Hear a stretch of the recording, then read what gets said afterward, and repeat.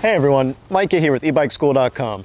And today we're gonna do an electric bike conversion. Now in the past, I've done some e-bike conversion videos with some pretty weird kits. You know, there've been some interesting, innovative parts, but I've gotten a lot of requests for, uh, you know, e-bike kits that you can just find on Amazon or just normal e-bike kits. So that's what I've got here today. And we're gonna install a typical Amazon kit on an electric mountain bike here. Now this is just a Schwinn. There's nothing special about it. And then this is a uh, kit from a company called Yose Power. I don't know too much about them, but it seemed like a pretty basic kit that you'd find anywhere, simple to install. So that's what we're gonna do today. Let me bring in here, we'll check out what's in the kit. Let's do a little opening here. Let's see what we've got. All right, so this is a basic rear wheel motor kit. It's a 48 volt system. It's 500 watts, but it's got a 20 amp controller, so it's about 960 peak watts. Comes with everything, uh, apparently a little bag here, but you've got your motor. This should be the battery in here. I think these are all the rest of the kit parts. Yeah, so we've got our wiring, some tools, that's always nice. Some more tools, some brake levers, so uh, yeah, basically, you know, a very simple but easy to use kit. So let's get this thing installed. And now the first thing you usually do is you swap out the uh, rear wheel here and we're gonna put in the motor wheel in its place. So let's get this guy out. And then once I pull this wheel out, I think I'm gonna have to pop off this freewheel here and put it onto the motor because the motor didn't actually come with the freewheel, though I noticed it did come with a tool for removing this one which is probably for the best because otherwise I'd just be throwing away a perfectly good freewheel here and all these gears. Now to get this freewheel off, first we're gonna remove this hardware here. And now we can access these teeth that are down inside the freewheel. They give us this nice tool. Except it's not this one, it's the smaller one they give us here. So let's try that one. So this tool will go right down in here and that grabs the teeth of the freewheel. And then I can just wrench on that sucker and open it up. There we go. Sucker's on tight. All right, and we're off. So now we don't need this wheel anymore. And this will go onto our motor wheel. And so from here, I gotta slide off all of this hardware, just like on the original wheel.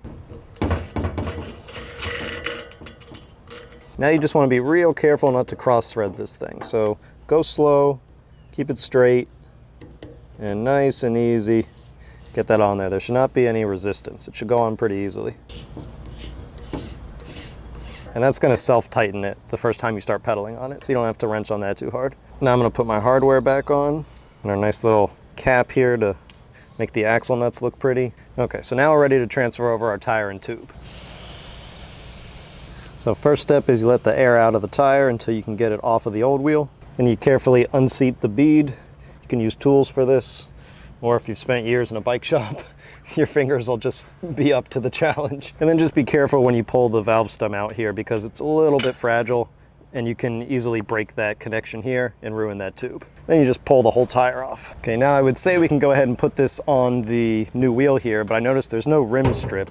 The rim strip is a piece of rubber that covers the holes here so that they don't uh, cut the tube on that sharp edge. So I'm just gonna pull the old rim strip off of this rim here. So can just grab the edge of that and it'll slide right out. Kind of looks like a big rubber band here. All right, now I'm gonna transfer it onto the new wheel. We're just gonna line up that valve stem hole with the same hole on the new rim here. If you forget to line it up, you just won't be able to put your valve through the rim. All right, now we're lined up and we can put the tire on our new rim here. So same idea, you're gonna seat that bead in the rim. Then you're gonna line up that valve stem. I missed it by a little bit. There we go. Gonna gently feed that valve stem through and then starting where the valve is, you'll seat the second bead. Then you can just work your way around. Because these are big mountain bike tires, you can pretty much do this by hand without any tools. All right, now we're all seated. Disc rotor time now. We're just gonna unbolt this old uh, disc rotor here. And that rotor now goes onto our motor. Fortunately, they have the same bolt spacing, but that's not always guaranteed, so it's a good thing to check. And now with the disc rotor on, we can go ahead and transfer this wheel back into the bike. Now you're gonna wanna make sure that the wire exits up when the bike is upside down. That's so that when the bike is right side up, the wire actually exits down, and that creates a drip loop so that any water that lands on this wire doesn't just follow it back into the motor. Okay, now I do hear a little disc brake rub, but we'll probably just have to adjust the caliper on there so that we're not rubbing on the disc brake, but we'll do that afterwards. Now that we've got the motor on, we can go ahead and look at the battery and controller. And a nice thing about this kit is that they're actually combined, so it's one less part you have to install. Inside of here is our controller and we have our wire connectors here. Here are the keys. Let's open up that uh, mount here. I'm gonna go ahead and flip the bike back over, probably a little heavier now. Not too bad, it's not a terribly heavy 500 watt motor. Now let's take a look at this. This is the moment of truth to see if the mount for the battery lines up with the water bottle bosses here. And it's already looking like they're not gonna line up.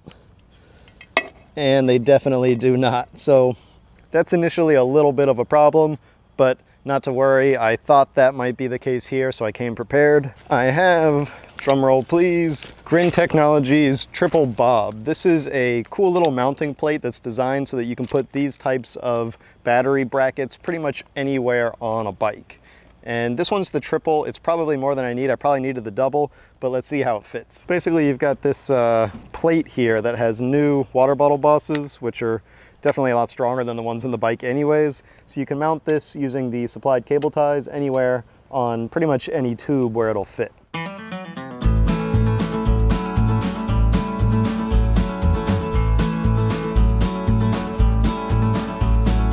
Now, if your bike has water bottle bosses that are mounted higher up, you're not gonna have to deal with this issue like I did. This bike specifically just had them very low on the down tube, so I had to get creative with this solution. Hopefully that's not gonna be an issue for you. All right, let's make sure the battery fits in here. That's also kind of important. Oh, it's gonna be close. Whew, we barely cleared that. Now that we've got the battery on here, it is wiring time. So let's get all of our wiring set up. So we've got our throttle, our motor wire, our pedal assist, and our brake cutoffs. So let's slide these grips off. Now in this case, my brake levers are actually built into my shifters, so I'm not gonna swap in the uh, new brake levers with the uh, motor inhibitor. If you wanna be extra safe, you can swap those onto your bike.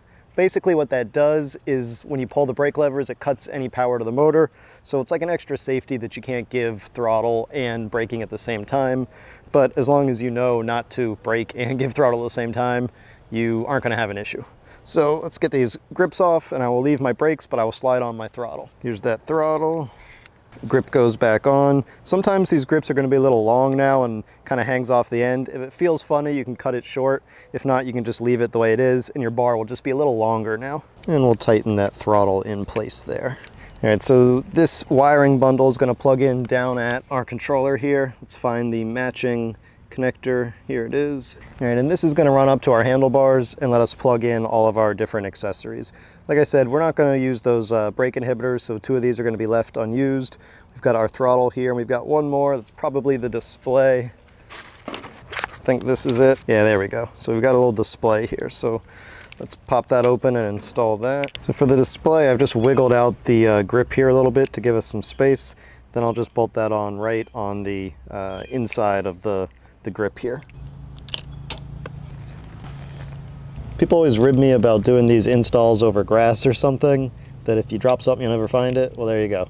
Dropped a bolt, found it right away. Nice thing with this kit is everything is color coded. So I know that if it's green, it's the display, and if it's yellow, it's the throttle. I would have loved to see them include some plastic covers for anything you don't use. Like I'm not using these brake inhibitors, so that would have been nice but we can always cover that up with some electrical tape or something. I'm gonna give you a pile of cable ties here so you can run your wires and make them look nice and pretty however you like. Unfortunately, you get about 90 feet of extra wire here, so I'm gonna have to bundle this up a bit and make it look not quite as ridiculous here. Perhaps I can use this bag they gave me and bundle the wire up in there.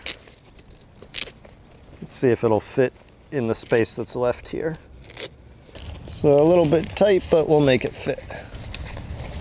Now there is a pedal assist sensor, but I think I'm gonna leave that off because I'm pretty much just gonna throttle this bike around. So I'm gonna start cleaning up the wiring here so we can get rolling. Let's see how much of this messy wiring we can shove in the bag here. All right, and now that our wiring is as cleaned up as we can get it, at least with the 9 million linear feet of cable that they gave us, it's the moment of truth. Let's turn it on and see what happens. Guess we can pull this little protective thing off. Now let's turn it on. All right, we're firing up. and looks like we're on, maybe low battery. Let's give it a little throttle. Nothing. Right, maybe we gotta turn it up. Let's try that. Oh, there we go. Yeah, now we're talking. And it looks like we get up to 38, 39. I assume that's kilometers per hour. So 39 kilometers per hour, it's about 25 miles an hour. Eh, not bad, there's some power in there. All right, so the battery's pretty low, but uh, might as well go ahead and start riding it just to see how it works right out of the box, and then we'll charge it up a bit and do a little more riding.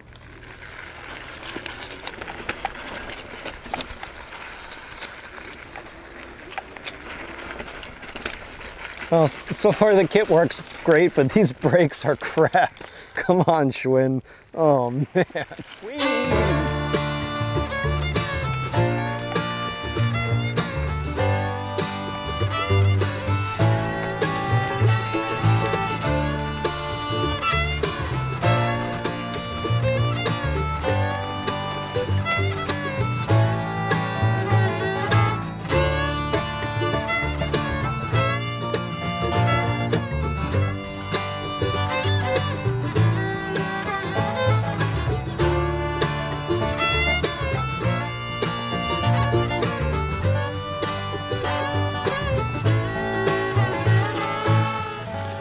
Right, so I will say that for a Amazon kit, this is quite nice. You know, maybe I don't even have to qualify that with for an Amazon kit. I mean, it works really well. It's surprisingly powerful. It's not that expensive.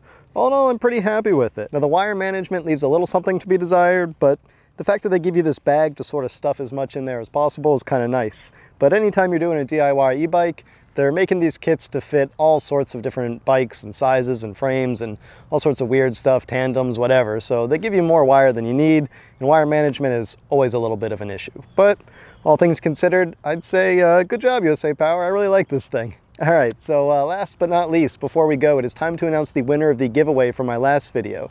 And the randomly selected commenter that will win a copy of one of my books is...